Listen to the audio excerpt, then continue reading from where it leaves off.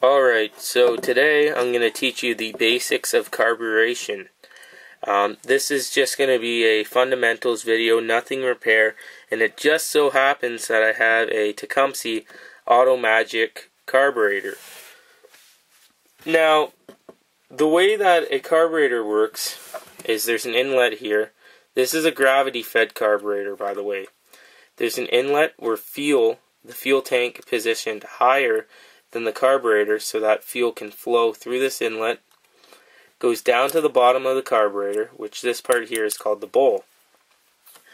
And there's a needle here, which is attached to a float. Now the float would uh, lower and rise depending on the fuel level.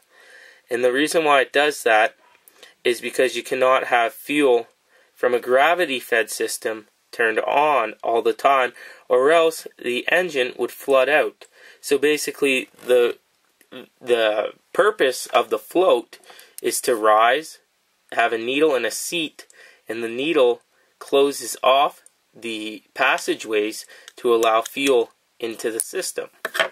Now we're going to remove the bowl nut here, which this is a one half drive, but it doesn't uh, really pertain to anything.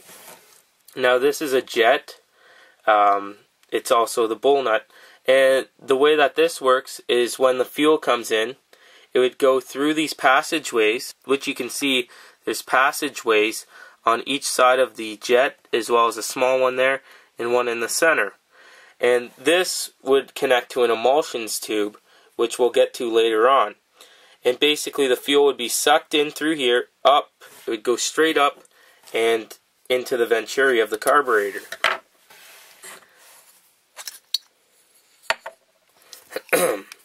now this is the float. On Tecumseh's, you want the float to be perfectly level all the way across. It can't be like this or like that. It has to be perfectly level. That's how they work. So to take the float off, there's a pin here, which mm, this one's to, trying to be a pain there. There's the needle, which is attached to the float just by a little spring. And the needle goes inside this passageway here. You can see the seat at the bottom. So, what I was talking about before was this bowl nut acting as a jet.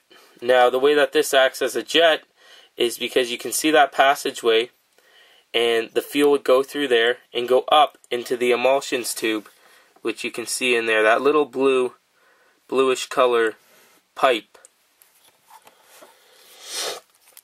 So if we want to take out the emulsions tube we can simply press it out with a flathead screwdriver give it a good tap and out comes the emulsions tube you can see how it corresponds to the bowl nut here. Because those two fit together. There's an o-ring around here. And those two work together.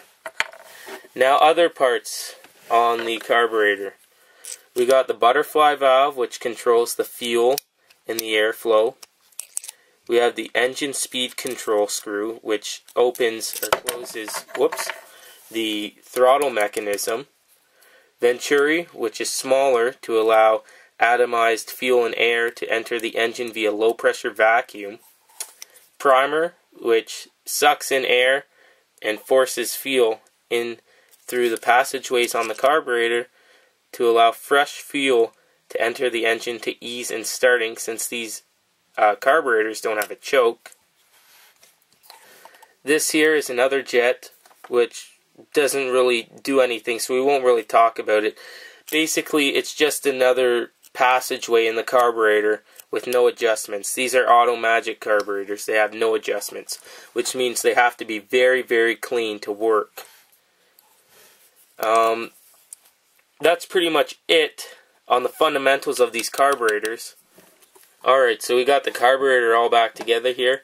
If you have any questions on anything in this video, or anything small engine, just PM me.